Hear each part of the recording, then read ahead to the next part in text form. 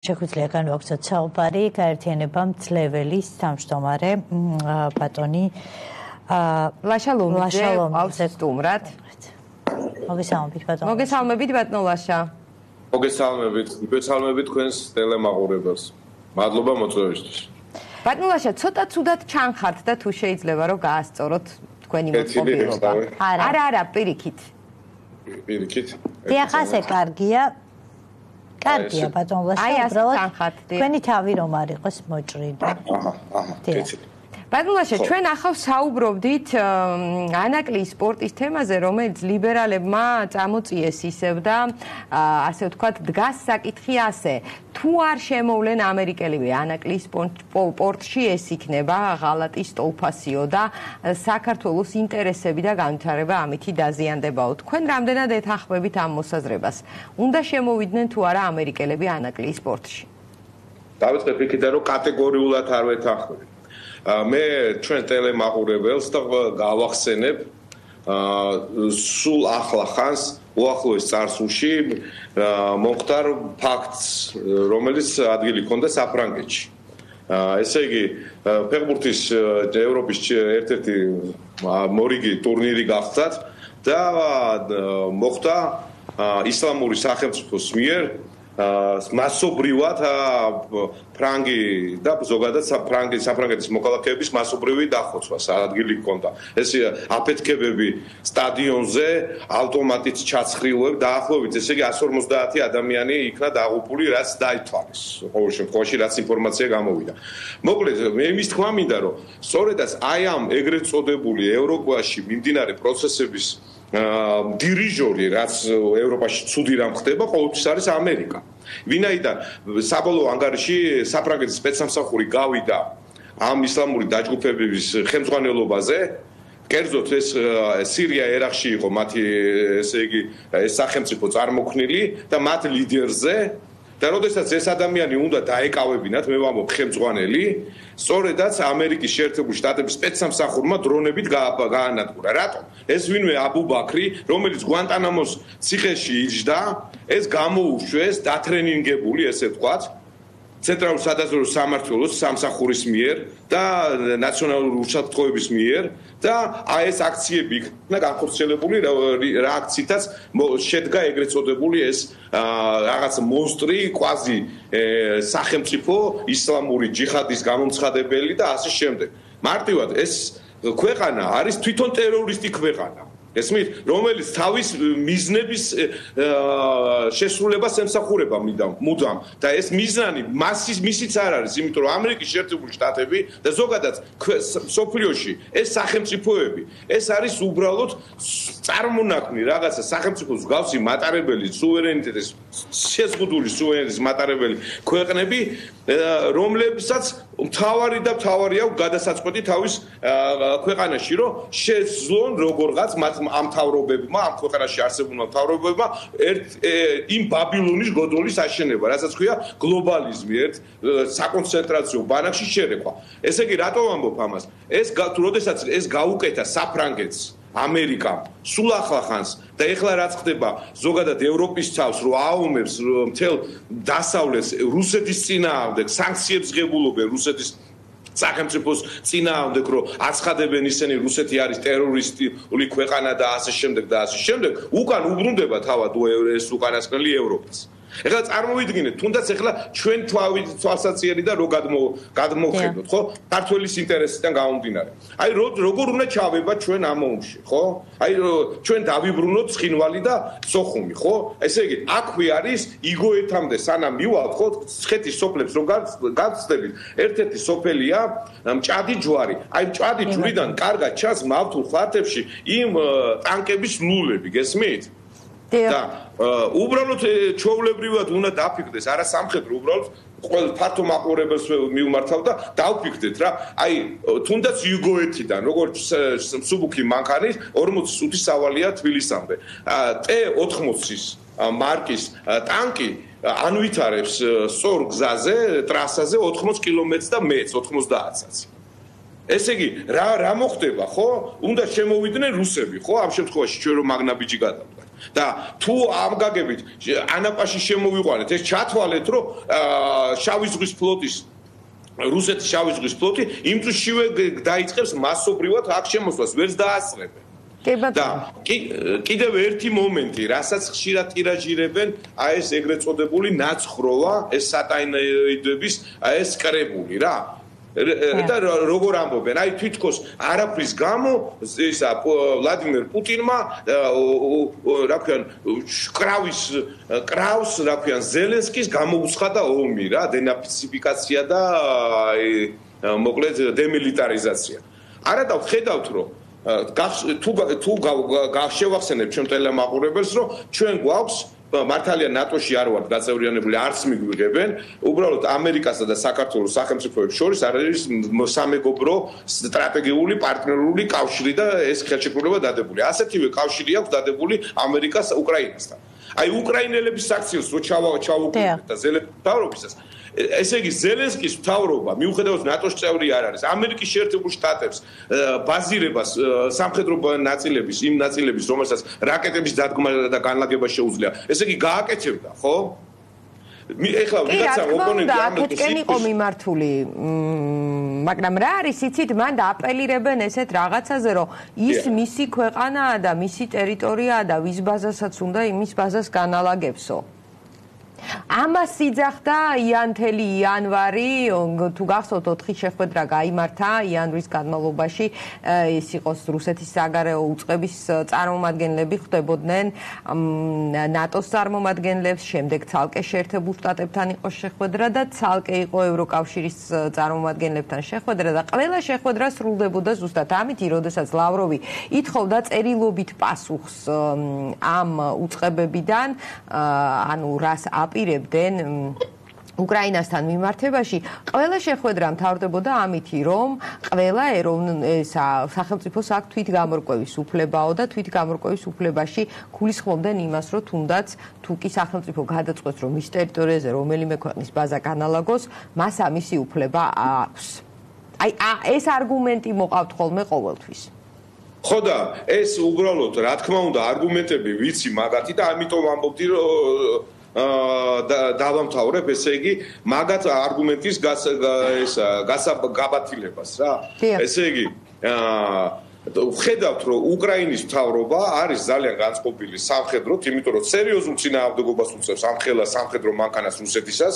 ესე იგი, სულ თავისუფლად თურმე ის უფლებას მისცემდა და თავად ამბობენ რომ აქვსო უფლება თვით გამორკვევის და ვისაც უნდა და ვის იარაღსაც უნდა იქ დადგავსო. ხო, ხო ეგრეა.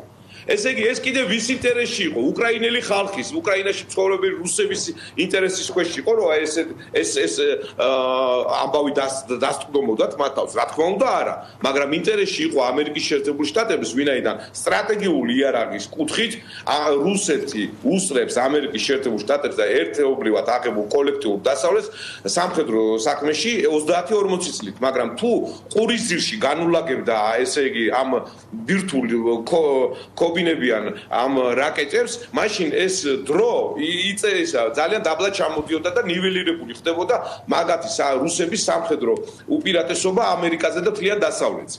ესე იგი, ესენი ემსახურებიან ეს თავრობა, ზელენსკის ემსახურება ამერიკის და აი იმ ჩtildeოვან თავრობას, რომელიც მართლაც არ ჩანს, ისეთივე მარიონეტული თავრობა ყავს ამერიკის შეერთებულ შტატებს, როგორც ნებისმიერი ქვეყანაში მარიონეტები არიან, რომ ნებისმიერ სახელმწიფოში, ვინაიდან კაცობრიობის დაუძინებელი მტერი არის იდეოლოგიები რა, იდეოლოგია, რომელიც გამოიხატება ფაშიზმში, მაგრამ ფაშიზმი პირშუა სიონიზმის, სიონიზმის შემოკარგებო და თავად ამ სიონისტების აი ეს დაჯგუფება რომელიც საკმაოდ ძლავრად არის ისრაელში წარმოქმნილი სიონისტური მოძრაობის წირავენ თავად ისრაელსაც. და ვინაიდან მათ მიაჩნიათ ამ ეთნიკური წარმომავლობის აი ამ პატივცემულებს აი ამ უკანასკნელს რომ არაუშავს ეს შევწიროთ როგორც ადრე შეუწირია თავიანთი თვისტომნი ზავიათი გლობალისტური და მიზნების მისაღწევა და აგერ ჩtildeოეთში უკრაინაში განალაგებენ ყირიმი მაგათია ესე მოხდა ოქტომბრის რევოლუციის შემდეგ ამი პროექტს სათავეში ედგა რომ ჩtildeოეთ ისრაელი შეექმნა სახელმწიფო უკრაინის ტერიტორიაზე, ყირიმის ნახევარკუნძულიდან უნდა დაწყებულიყო და უკრაინა უნდა ყოფილიყო როგორც ხაზარია ნამდვილი ისრაელი, ჭეშმარიტი, სადაც სოლომონის ტაძარი უნდა აეღოთ. აი სიონისტების აი ეს დაჯგუფება ეს უკანასკნელი აი ამ ამაზე პროექტებში ბატონლაშა მინდა გითხოთ ამ მიმდინარე მოვლენებთან დაკავშირებით გუშინდელი აქცია მსვლელობა ფემიციდის წინააღმდეგ და ამავდროულად სახალხო დამცველის მოთხოვნები ცენტრალური ხელისუფლების მიმართ კანონის გამკაცებასთან დაკავშირებით ქალთა მიმართ ძალადობის კონტექსტში როგორ ფიქრობთ რამდენად არის ეს დღის მოცემულობით საჭირო რამდენად არის დრო მოული და თუნდა შეიცვალოს რა ცვლილებებია საჭირო თქვენი აზრით. ჩემი აზრით საჭირო არის სწორედ ეს ოჯახის გაძლიერება და ესეთი მაპატიეთ, მაგრამ პოლიტიკური ხვიტრიცები საქართველოს და ქართველებს და საქართველოს ცხოვრებ ადამიანებს მოსახლეობას ნამდვილად არ გვაწყობს, ვინაიდან იქ სწორედაც ხდება ისეთი კანონების შემოტანა, სადაც სწორედაც ოჯახი ის იზღუდება თავის ჭეშმარიტ თავისუფლებაში და ხელი ეწყობა ისეთ მავნებ ნებებს რომელიც ადამიანს ვნებს შინაგანად, ანგრევს ოჯახის ასეთ ინსტიტუტს. აქედან გამომდინარე ლიბერალებისა, რომელიც მარცხდებია, მარცხდება მთელ სოფლიოში ლიბერალური ბოლო შეტევა, მარტივად რა, მარტივი სიტყვებით გამოხატავ რა. ეს არის ის ჟამი, ის ბოლო აპოკალიფტური მოვლენებთან აქვს შეხება, როდესაც ყველაფერი თავდაყირა არის დაყენებული. გესმით? არა ეკლესია, არა ღმერთის წმენა, არა ადამიანი, ადამიანში გულისხმობ ზნეობრიობას პირველ ყოვლისა და ადამიანის ნეობრიობა მამაკაცსა და დედაკაცსაც რო შექმნა. ეს არის ოჯახი, ხატება და ამ ხატებას ებძვიან და ხედავთ რომ დაახლოებით მილიონზე მეტი ქართველია გასული, უმეტესად მანდილოსნები არიან, ჯოჯოხეთური შრომა უწევთ იქ წასულებს, ხო? და აქედან იქიდან გზავნიან თანხებს და აი აქ კიდე მათი ჩამომავლები, რომლებიც უდედოდ გავიზარდნენ, ჩათვალებ უმამოვთას გაიზარდნენ, იმიტომ რომ მამა კარგად მოგეხსენებათ, აი ისე ვერ ერევა ჭირდება ხო საქმეში აი როგორც ბავშვი როგორ ჭირდება აი ყოველდღიურად საუზმე სადი და ასე შემდეგ ხო? და ჩათვალეთ რომ აი ეს გაუცხოება არის გამოჩენ და ეს მომხდარი და აი ეს ახალგაზრდები ხო? აი არ ვიცი ხა არ მინდა პროცენტი დავასაყრელო მაგრამ ნაწილი გოგოების და ბიჭების ძალიან მომხმარებლები არიან ამ უკანასკნელის ნარკოტიკების აი რასაც ქვია პლანი და ანაშა ხო?